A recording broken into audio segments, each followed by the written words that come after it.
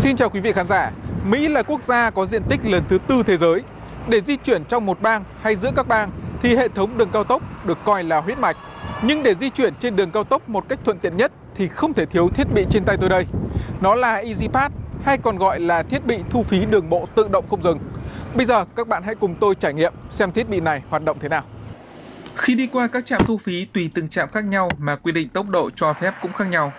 Một số trạm có thể cho xe đi qua với tốc độ gần 90 km/h mà vẫn thu được phí. Một số trạm khác thì quy định tốc độ tối đa để thu phí khoảng 50 km/h. Cũng có những trạm mà bạn chỉ có thể đi qua với vận tốc dưới 10 km.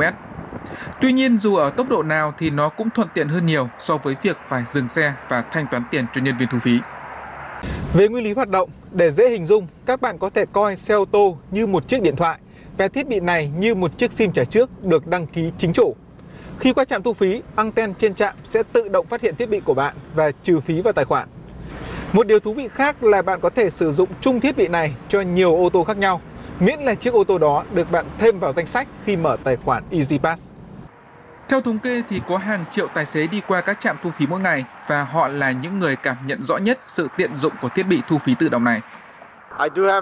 Tôi có sử dụng EasyPass. Chỉ khi sử dụng EasyPass, bạn mới có thể duy trì tốc độ khi đi trên đường cao tốc. Điều đó tiện lợi vô cùng.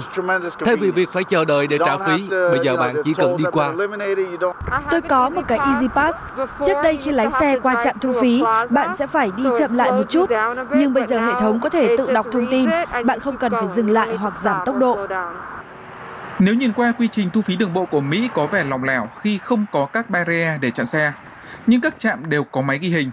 Nếu lái một chiếc xe không đăng ký tài khoản đi qua và cũng không trả phí bằng tiền mặt, camera sẽ ghi lại biển số và biên lai like sẽ được gửi đến tận hòm thư của chủ nhân. Hiện nay tại Mỹ, hầu hết các đường cao tốc đều được trang bị hệ thống thu phí tự động không dừng. Dù tên gọi có thể khác nhau nhưng cũng có chung nguyên lý hoạt động. Như thiết bị của tôi đây có thể sử dụng trên 17 bang. Hoàng Hải, phóng viên Đài truyền hình Việt Nam tại Mỹ.